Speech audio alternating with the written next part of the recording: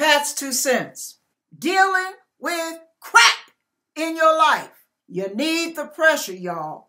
As bad as it feels, as nasty as it seems, as foul as it comes across, it is a necessary evil, and here's why.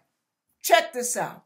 When we want to curse our darkness, when we want to curse our trials, when we want to curse the pressures that are coming against us from all sides, we have to remember that there are certain levels of pressure that are necessary just to sustain life itself.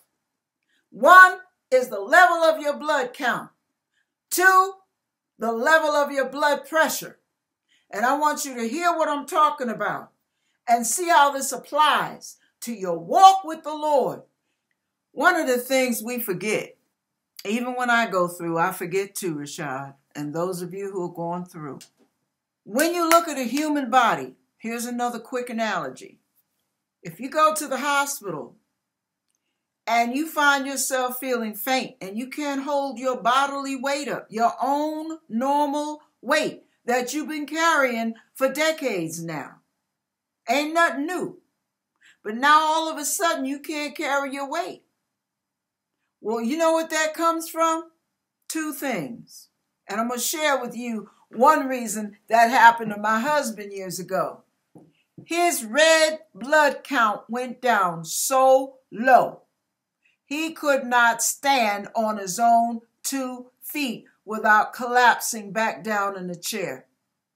And they found out when they got him to the hospital that he had a bleeding ulcer. His count that should have normally been at number 40 was down to 15, which means he almost bled out with the bleeding ulcer. Now, they had to give him blood transfusions in order to build up the blood pressure in his body for him to be able to stand and hold his own weight. Same thing, check it out. If your normal physical blood pressure goes down too low, like it did with me when I was in ICU, they gave me so much medication.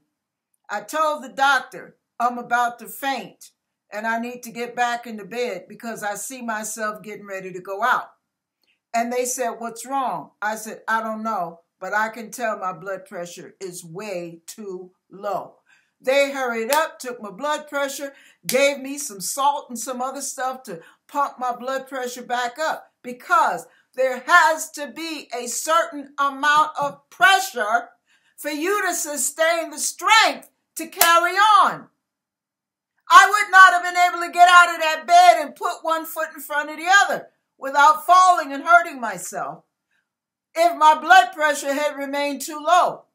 Some people, when the pressure goes down too low, die right there in the hospital bed. So God knows there has to be a certain amount of pressure. For some reason, we hate it. Of course we do. But there's a certain amount of pressure that gives us strength. And that's why we cannot curse those trials. We cannot curse our darkness. I hope you got the point. Oh my goodness. God is able to sustain you. He will not put on you more than you can bear, even though it feels like that's what He's doing. He's not. He's in total control, y'all. He knows what He's working into us and he knows what he's working out of us. And as y'all can see, I'm still being worked on too. Pastor Darby has got two examples of dealing with life's pressures. Check out what he's got to say and continue to be encouraged. Amen. Listen to me. And you've already been living a life of small overcomings. Mm. These small overcomings are preparing you to overcome. Listen to this, Rashad. That's why you shouldn't curse what you're going. See, if you ain't going through nothing, I'm gonna tell you why.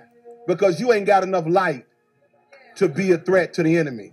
The only reason why those that are really saved are going through something that they really can't even tell you how they go through back to back stuff and they almost think they ain't saved. But they only going through it because they are saved. Why would God allow that? Why is God allowing you to go through that? Because you need these small overcomings to prepare you for the big thing. I made a scenario yesterday. It's like a boxing, a boxer that before he fights, he spars with a with a boxing opponent. In the boxing match, in the sparring match, they're not really throwing all their power because the whole goal of sparring is just attrition, stamina building. Mm. Just how long can we go? That's what sparring is. Stamina. But wow. he is preparing for the fight. Now, once the once the true fight comes, the opponent is throwing all his power. And the only thing that's going to cause you to be able to sustain yourself uh. is based upon all of the hours of stamina. Wow. See, you just in little fights. little fight, not real fight, little fights. You know, just, you know, oh, sickness in my body. That's a little fight. That's something you can overcome. You know, that's, you know, my, my child's acting a fool. Okay, little fight.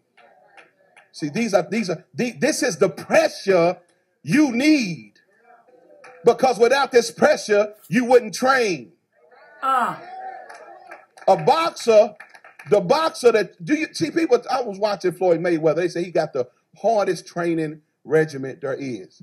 They say he just trains and trains and trains, and they don't know why. I said, I know why. He's scared. He's taking the opponent seriously. And he knows if I out if I if I if I out train him, I'll beat him by out training him. I may not be able to outpower him, but my but he that endures to the end. Mm, mm, mm. Are y'all understanding what I'm saying? Wow.